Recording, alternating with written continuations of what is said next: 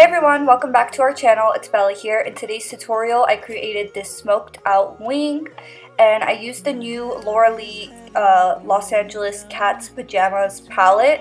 So if you want to see how I created this look, then please keep on watching.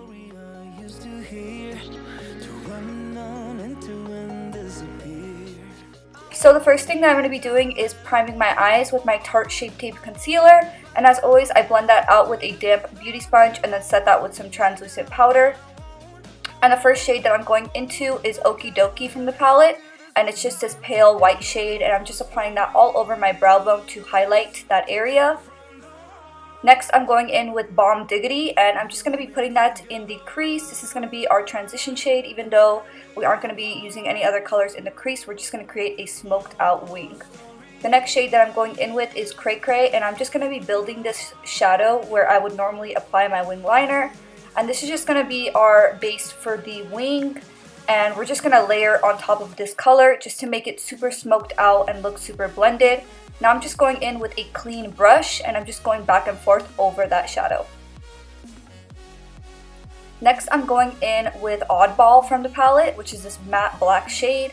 And I'm just going to be applying this shade right on top of that brown shade, just building up the color. And then as you can see, I'm changing the direction of my brush just how I would with my wing liner. And I'm making my wing pretty thick, but that's because we're going to be blending it out as you see me doing here. And I'm taking some Bomb Diggity once again, and I'm just uh, layering that on top. And then I go back in with Oddball. And the way to get this super blended is just keep building that color up and then blending it out.